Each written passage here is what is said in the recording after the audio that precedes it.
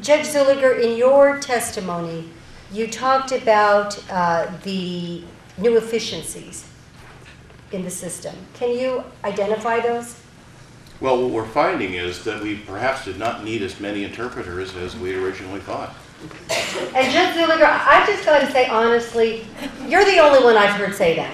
I, I, I'm sorry, but I've really got to question your sensitivity and understanding of the demographics of California. From the first panel to the panels right before you arrived, we have talked about the shortage of interpreters.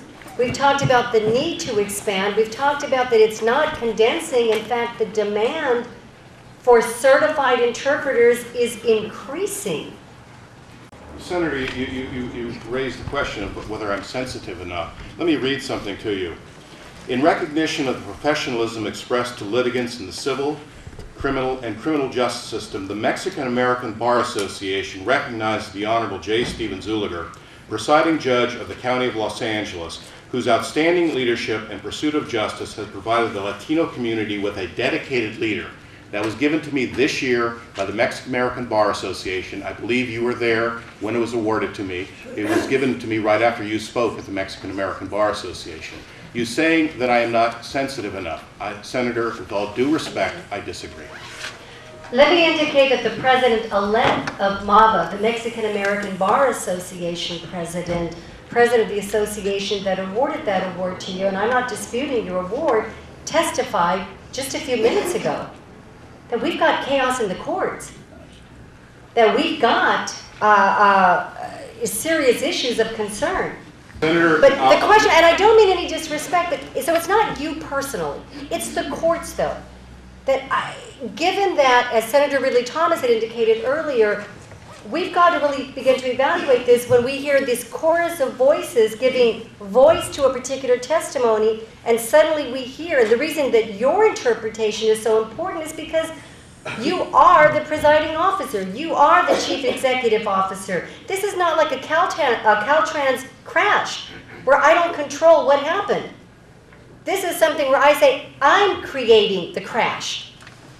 This is not just an accident on the, on the 405.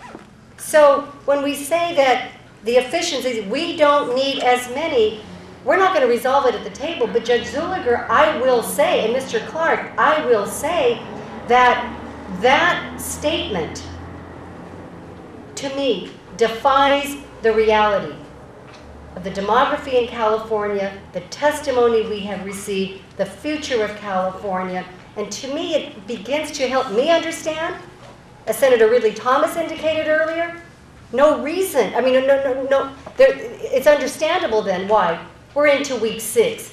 Because if we believe that, then I don't know how we ever resolve this in a way that moves us forward rather than keeps us in the past.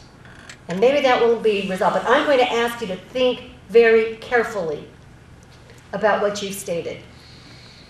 Because I don't know that there are many other, including officers in your own court, who will stand up publicly and say, we don't need as many court interpreters. I haven't heard it, but we're not going to resolve that today. Um, so that's an efficiency. We don't need as many court interpreters. Any other efficiencies? uh, Senator, you're talking about something that is uh, drilled down into a certain level of the operation, which I'm not involved in. We all value the courts.